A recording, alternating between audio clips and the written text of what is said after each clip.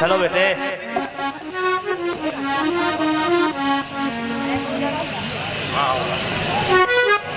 हमारी माताएँ बहनें भी बैठी हैं। हाँ। तो कुछ आप लोगों के लिए भी हो जाए। बिल्कुल बेटे बिल्कुल हो जाए। तो आपके मतलब की भी बात हो जाए। और क्या? एक धुन बड़ी प्यारी आई थी। हाँ। और भैया लोग भी सुनेंगे आपको भी बड़ा अच्छा लगेगा। और क्या? रोशनी जी बड़ी प्यारी धुन जिसको बड़े प्यार से आप गाएँगी। फ़िल्म का नाम है नदिया के पार। हाँ। और उसमें गीत बजा। के आए गुंजा उस दिन तेरी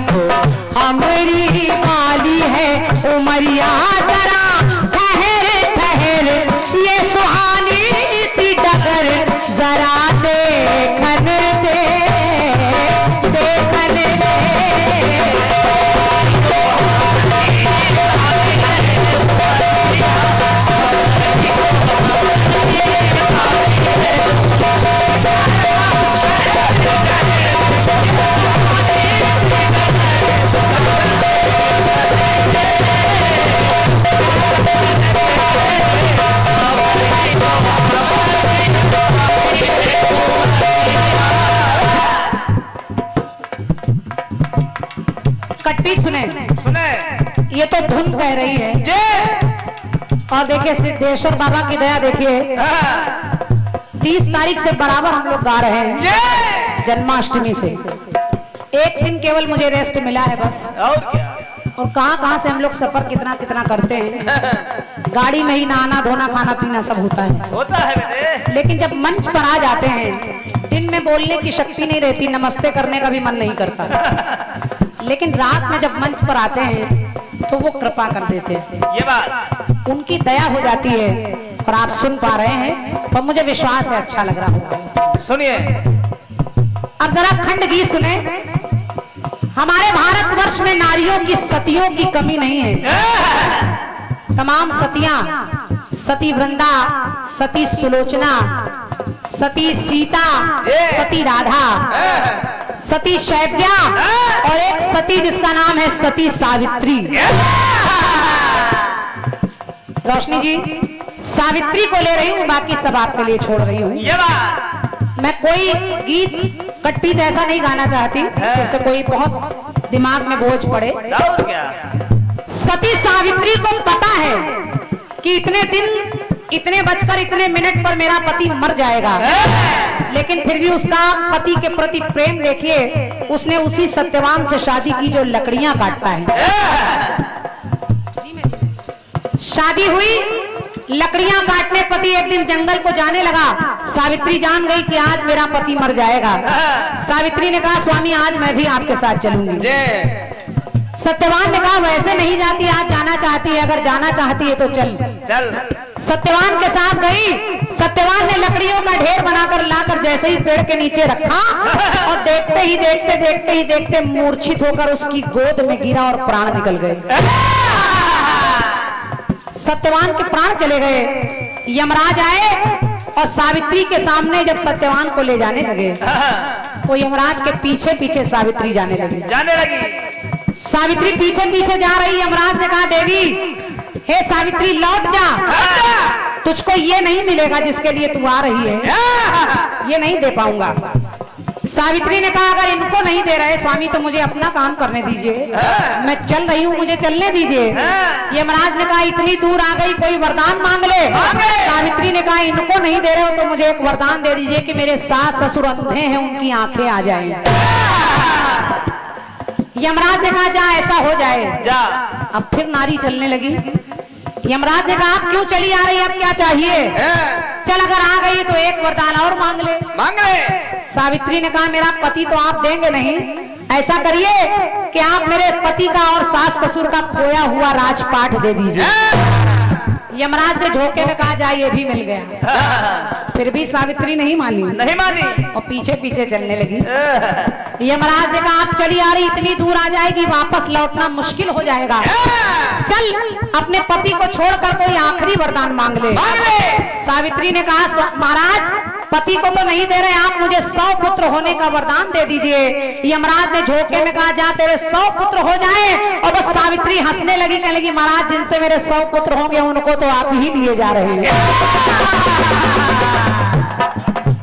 यमराज फंस गया। आखिर सौ पुत्र होंगे कैसे? बस यमराज इसीलिए मैंने कहा नारी के पीछे। जो भी काम हो रहा है नारी के पीछे। उस नारी ने भी यमराज को फंसा लिया और यमराज कहने लगे क्या? कि सावित्री तो बड़ी चालाक निकली। के आँख की ज्योति सास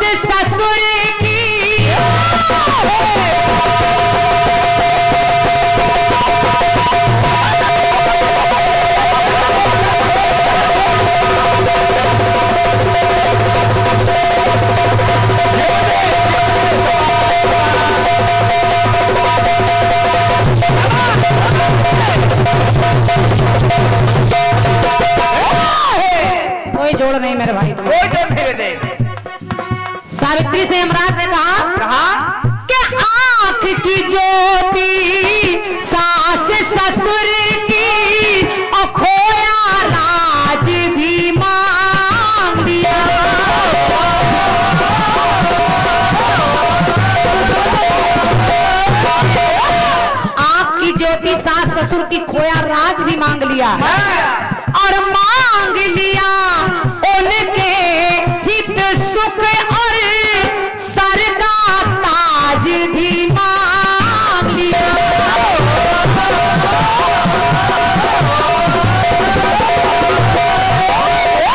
अब जो पंक्ति पढ़ रही हूँ, विश्वास है आपको अच्छी लगेगी और तालियाँ भी मिलेंगी। यमराज ने कहा आपकी ज्योति सास ससुर की खोया राज भी मांग लिया मांग लिया उनके हित सुख और सर का ताज भी मांग लिया। और है नारी के मांग मांग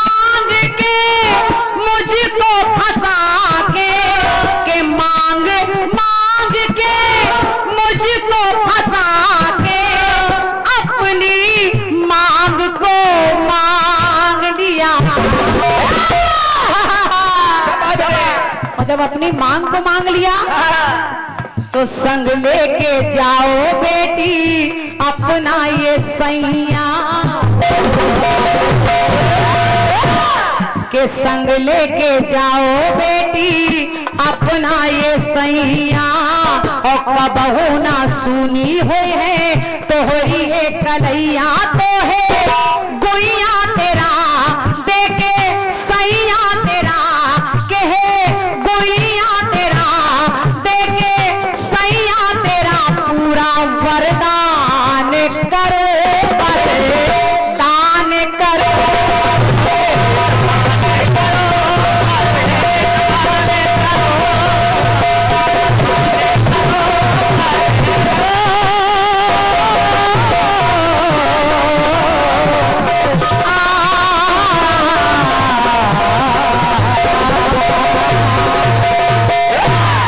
बोलिए सिद्धेश्वर बाबा की मेरी तरफ़ से खंडगी और सावित्री को इस तरह उसका पति मिला। और क्या? पुस्तकों में मिलता है कि सावित्री ने अपनी आधी उम्र अपने पति को दे दी कैसी कैसी देवियाँ जो अपने पति के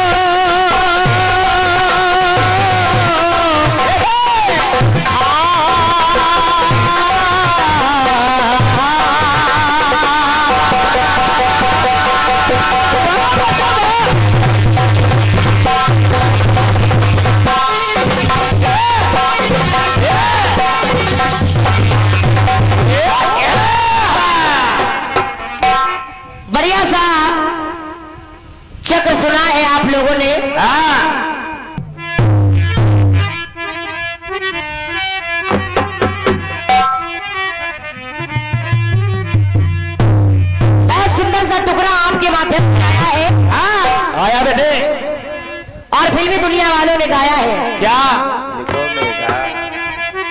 कि ऐ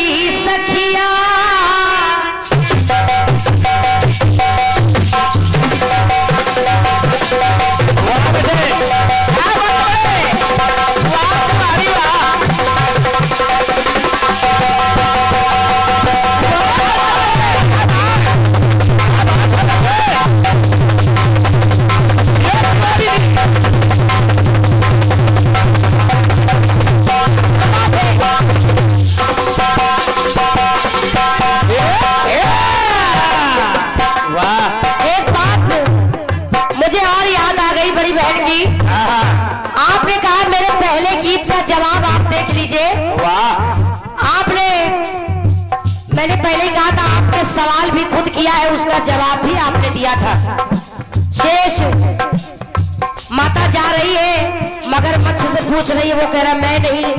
जलाशय से पूछा वो कहा मैं नहीं।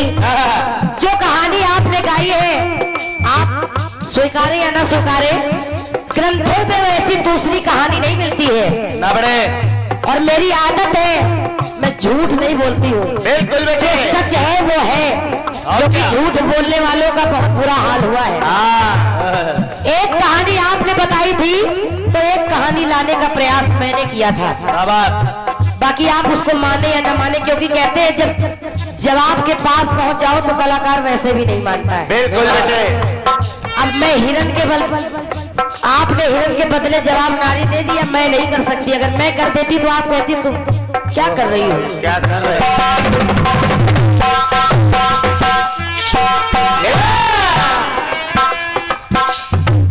तो ऐ गुंजा उस दिल तोरी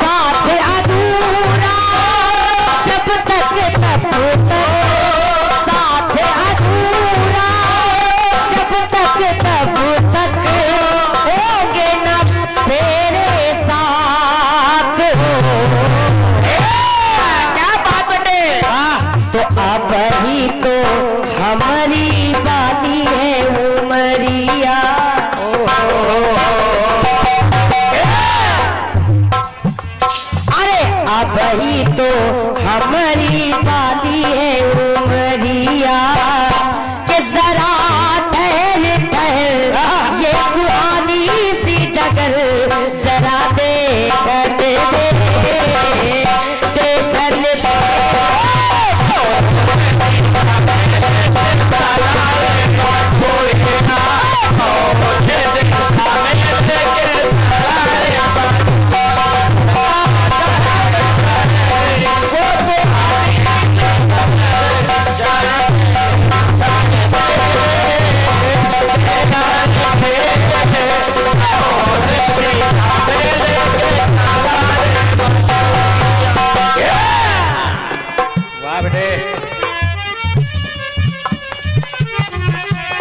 सुनिएगा? सुनिए। बहुत अच्छा टुकड़ा आपके माध्यम से आया है। हाँ। जो टुकड़ा आपने गाया है फिर कह रही हूँ सावित्री की पूरी बात आपने बता दी। आप कह रही कि मैं रास्ता काट रही हूँ मैंने रास्ता अभी तक काटा नहीं है बहन जी। हम्म, पर आपने ज़रूर वो काम किया है। आपने पूरा टुकड़ा गा दिया और बाद में चलते चलते कह दिया कि लोग कहते हैं कि आधी उम्र सावित्री की सत्यवान वाह, आधी आधी की बात आपने भी कर दी ताकि वहाँ से जवाब न बन पाए। बिल्ली रास्ता इधर काट रही है उधर काट रही है। सुनिए। सुनिए।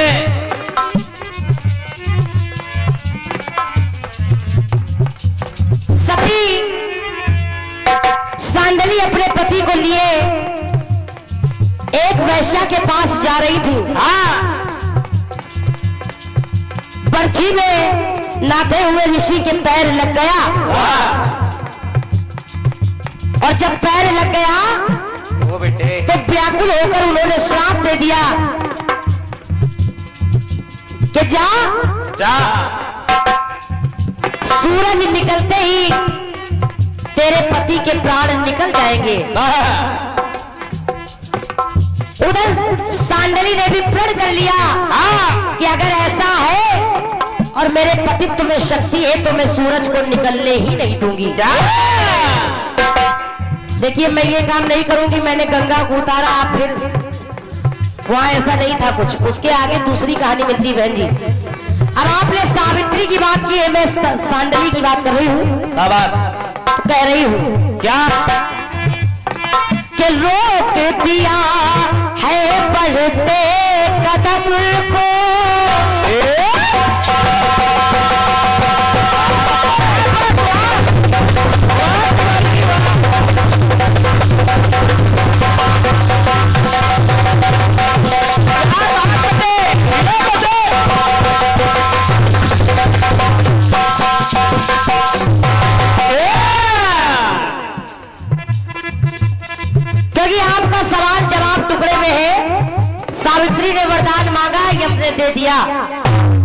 इधर सुनिएगा कहना? क्या? अरे रोक दिया है बढ़ते कदम को। और चक्र समय का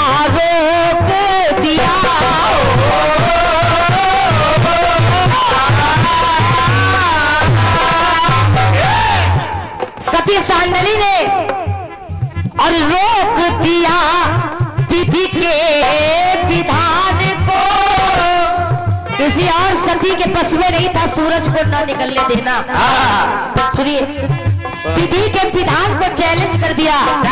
तो कह रही हूँ क्या? कि रोक दिया विधि के विधान को और लव की गति को रोक दिया।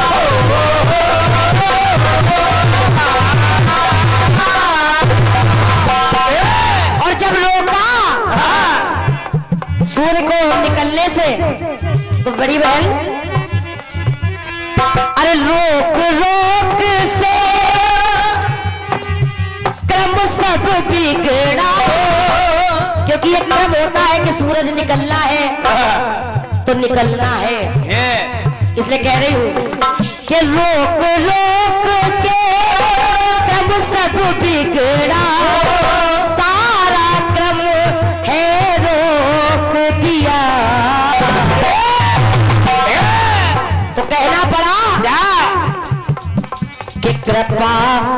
वचन बोली अनुसुईया मैया। सांडली ने जब सूरज को श्राप दे दिया कि तुम नहीं निकलोगे माता अनुसुईया के कहने पर क्या बात? श्राप मुक्त किया सती सांडली ने। हाँ। तो मेरी बात कह रही है क्या?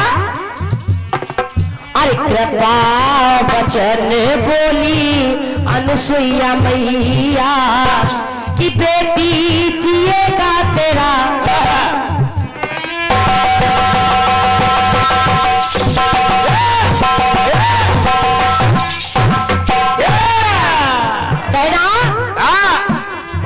अरे कृपा वचन बोली अनुसुईया मैया। और, और? देख दीजिएगा तेरा तुरंत ये सैया। कहा मैं कह रही हूँ कि तेरा ये पति फिर से जीवित हो जाएगा। तो तो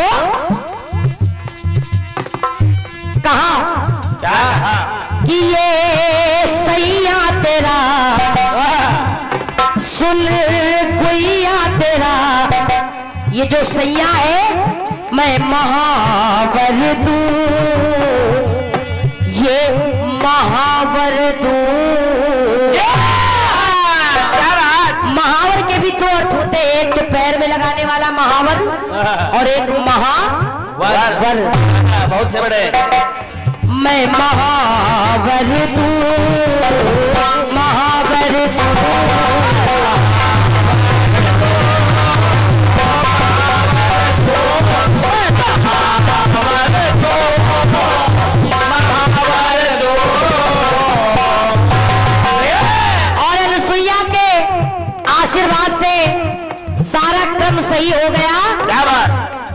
सती सांडली के पति फिर से वैसे के वैसे हो गए। तो मैं महावर महावर